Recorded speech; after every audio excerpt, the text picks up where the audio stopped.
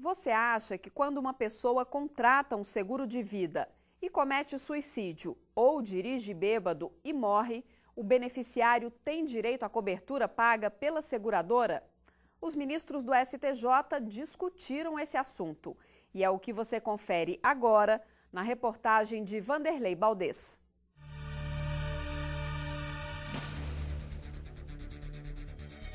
Quem faz um seguro de vida está pensando em dar mais segurança para quem, na eventualidade de morte, vai ser beneficiado com o valor da indenização que deverá ser pago pela seguradora.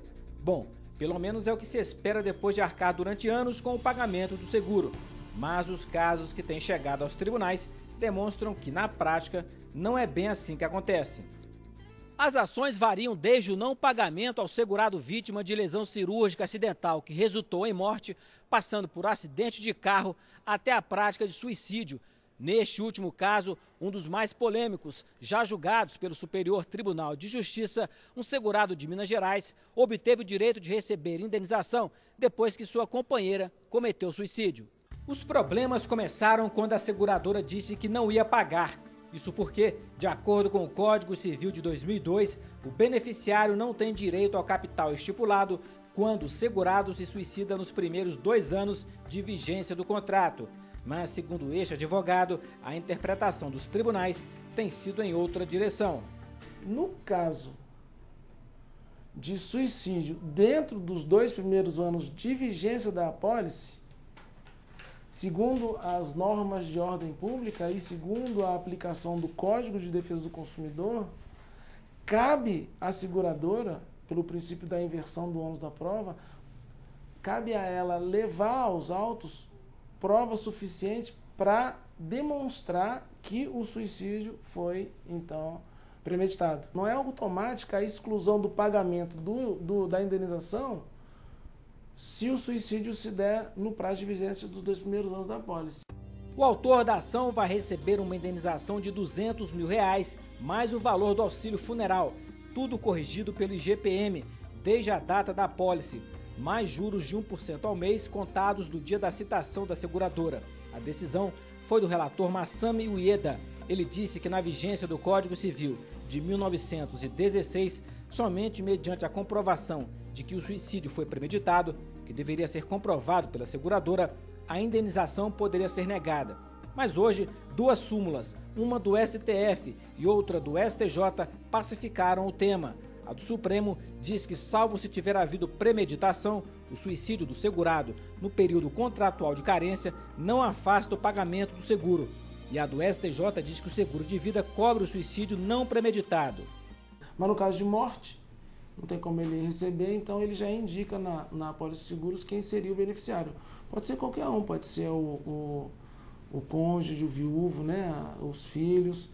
Então, nesse caso, ele vai receber sim. O STJ diz que ele tem direito a receber a indenização da apólice e as outras coberturas. Vítima de um acidente durante o horário de trabalho, a Domiran não conseguiu até hoje a indenização devida pela seguradora ele disse que o valor da mensalidade era descontado mensalmente de seu contra-cheque, mas quando precisou do dinheiro. Uns cinco anos já, quase, né?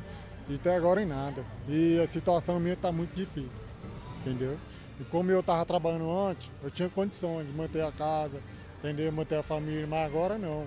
Eu estou encostado pelo, INSS e o salário já é pouco e não está dando para nada.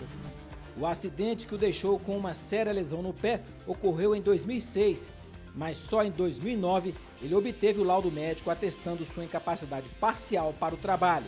Qualquer coisa de serviço que eu faço, já tenho problema já, pela a saúde, né?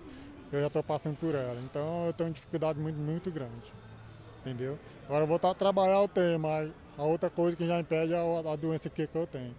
O escritório que cuida do processo de Adomiran atende a muitos casos semelhantes e, na maioria deles, mesmo pagando o seguro, o segurado acaba tendo que brigar na justiça para comprovar que tem o direito à indenização. Eles costumam alegar que faltam alguns documentos, alegar que a pólice diz até um, um determinado valor, enquanto a pólice é clara em dizer que indenização por danos materiais ou danos morais ou invalidez é no valor de tal e não até tal valor Então eles alegam muito essas, essas questões. Quando a gente vai junto à pólice, comprova nos autos que houve invalidez, comprovado pelo laudo do IML, houve nexo causal do acidente, a gente consegue na justiça o total, a totalidade do seguro. O presidente do Sindicato dos Corretores de Seguros no Distrito Federal alerta que é preciso ficar atento aos termos do contrato antes de assiná-lo. Segundo ele, essa é a principal forma de evitar dores de cabeça no futuro. As pessoas são induzidas a adquirir produtos que nem sabe o que é. Ele vai assinando as vias do contrato e lá tem uma via, que talvez seja um contrato de seguros que ele não sabe o que cobre, as informações necessárias que são é, que fazem parte de uma pólice de seguros, o seu estado de saúde, altura, é, a sua vida de um modo geral, social de um modo geral, não é respondida. E lá talvez aquela pessoa inescrupulosa por interesses financeiros momentâneos preenche com letras totalmente diferentes daquela assinatura. Bem claro que a pessoa que preencheu aquele questionário não é a mesma. E o que vem a acontecer? A companhia vai negar o sinistro, caso ele necessite ou a família possa saber da existência desse contrato de seguros. Então, e o que eu vejo diante disso daí? Um contrato bem feito evita dor de cabeça, evita humilhações, constrangimentos numa liquidação, numa regulação de sinistro.